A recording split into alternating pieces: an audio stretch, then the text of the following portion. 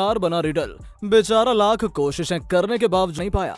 Usos ने किया undisputed tag team championship जीतने का वादा। जानेंगे सारा बवाल जो ब्लड लाइन ने मचाया आज स्मैकडाउन में। तो वीडियो को पूरा ज़रूर देखिए। उसने एंट्री मारी लोगों के सवालों का जवाब देते हुए। उसोस नहीं पता कि वो कैसा महसूस कर रहे हैं। लेकिन हाँ अगले हफ़्ते होने वाला undisputed tag team championship match कोई मामूली रीमैच नहीं है। बल्कि वो रजलमीनिया के मेन इवेंट का रीमैच होगा, जिसमें Usos tribal chief Roman Reigns के सम्मान के लिए एक बार फिर टैग टीम टाइटल्स जीकर केविन ओवेंस और सैमी जैन को उसी तरह तोड़ेंगे, जिस तरह कुछ देर बाद हमारा भाई तोड़ेगा।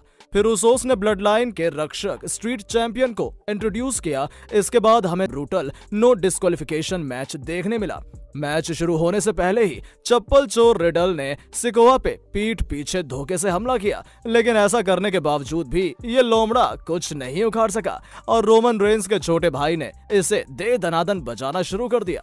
रिडल की तगड़ी धुलाई करने के लिए सिकोवा ने किंडो स्टिक्स और स्टील चेयर्स निकाली, लेकिन ऐसा करना उन्हीं पे भारी पड़ा, क्योंकि ओरिजिनल ब्रो ने पासा पलटकर स्ट्रीट चैंप पे लाठी चार्ज शुरू कर मारा। रिडल यही नहीं रुका। उसने सिकोवा पे स्टील चेयर से भी कई सारे वार किए। इसके बाद ये दोनों रिंग के बाहर जाकर लड़ने लगे। जल लेते हुए उन्हें अनाउंसर टेबल के नीचे दफना दिया। अचानक उसोस आकर रिडल को बमा बम कूटने लगे, लेकिन ओरिजिनल ब्रो ने उल्टा जिमी और जैकी ही धुलाई कर डाली। इतने में सोलो सिकोवा अनाउंसर टेबल को उठाकर खड़ा हो गया। उनकी ताकत देख रिडल डर के मारे कांपने लगा। सिकोवा ने रिडल को दबोचा और एक यूरेनागी के बाद समोअन स्पाइक देकर उन्हें पिन करके हरा दिया।